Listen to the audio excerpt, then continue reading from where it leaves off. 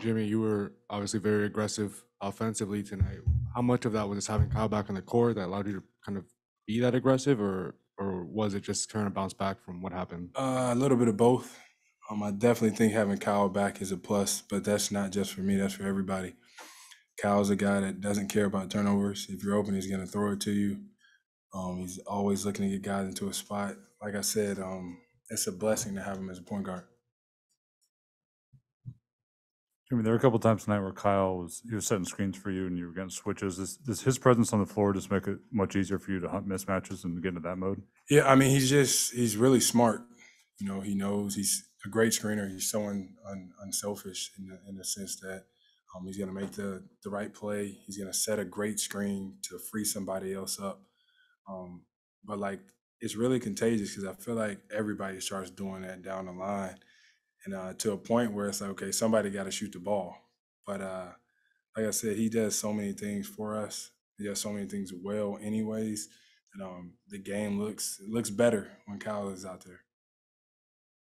Uh, Jimmy Tyler seemed to get a lot of attention tonight after a couple of his scoring games, but it also seemed like he's he's was making a lot of the right reads when the second defender was coming. How far have you seen him progress in that part of his game as, as teams start to focus on him a little more? I mean, he's learning day in and day out on the fly at that. So it- it's, it's kind of tough um, being the scorer that he is and then having to flip that switch and be like, you know what, I got to make the right play. And I think he's handled it incredibly well, like a pro's pro. Um, but he's he's just getting better each and every day. You know, next game he may he may score fifty, he may have twenty assists, but that's the type of guy that Tyler is. Like he can do everything well. So whatever the game gives you, he's gonna take it. Jimmy had said after the game uh, that you didn't want your offense to dictate your defense.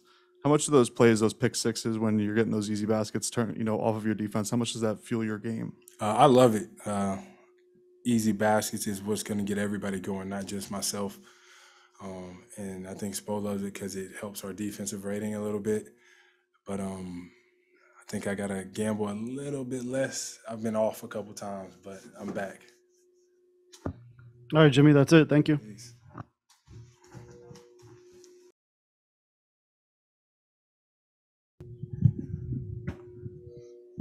How coach said um, when you're there, Jimmy can focus more on being aggressive and sort of take care of matters, maybe with eyes a little more on the rim. We've seen also more offense from Bam when you're on the floor. How important is it to you to sort of free them so they can sort of be their best selves? Uh, my job is to make everyone's job easier. Um, I mean, I don't necessarily say I'm, you know, they can focus on just scoring and all that. I feel like I just go out there and I do my job. My job is to try to make their jobs easier, put them into positions um, to be successful. Um, and you know, Jimmy who's playing extremely aggressive and well today, and made some shots. So did Bam. Um, but uh, yeah, it's just it was good. It was a good team win. Uh, you know, it was fun. Is this, is this offense at its best when it's generating points off its defense? And, and as a point guard, how do you try to feed into that? Say it one more time. Is this offense at its best when it's you know generating points off its defense like it did tonight? And as a point guard, how do you try to feed into that? Just keep pushing. You know, don't have to wait. Just keep, you know, try to keep the pace up, even with the dead ball turnover. Just try to keep the pace up. Um, you know, we've we got guys that are um, really good defensively, and you know, one of the best rebounders in the game with in Bam. Um, you know, we got opportunity. We got great shooters. So just kind of getting open looks for everybody. Just keeping the pace high, no matter what happens. You know, dead ball, turnover, rebound. Just continue to keep, you know, just keep keep a steady pace.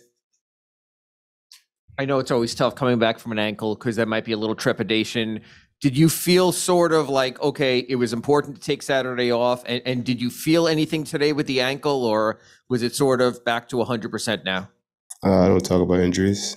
Um, I'm I'm playing. I'm playing. Kyle Tyler didn't really come into the league as a, a, a guy who's going to have the ball in his hands a ton.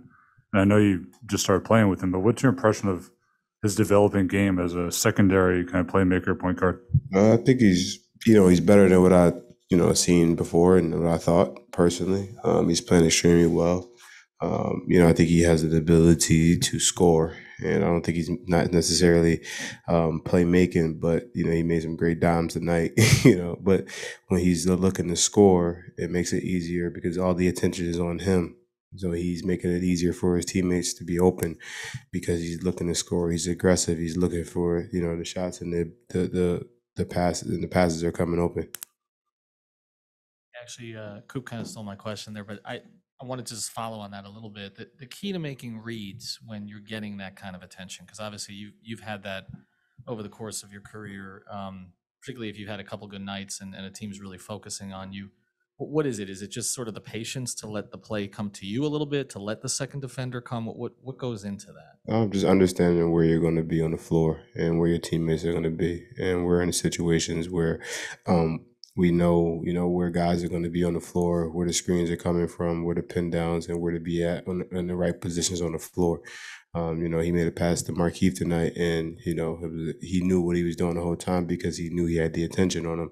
He was just waiting for the defense to, you know, come to him and then drop it off to Kieff for a layup. Uh, Speaking of Markieff, Kyle, I just want to know what you thought of his game tonight and if you thought the chippiness in the first quarter kind of fueled what he did. Uh, you know, I think one thing about Markieff is we're going to need him. You know, we're going to need him to make those, you know, mid-range jump shots, play defense, grab rebounds, be a post presence. Um, you know, he has an ability to score the ball, and you know, he's just going to continue to get better. You know, as we all figure out each other, and we're as we play on the floor together. You know, we'll figure out what you know each other can do. All right, Kyle, that's it. Thank you. Thank you.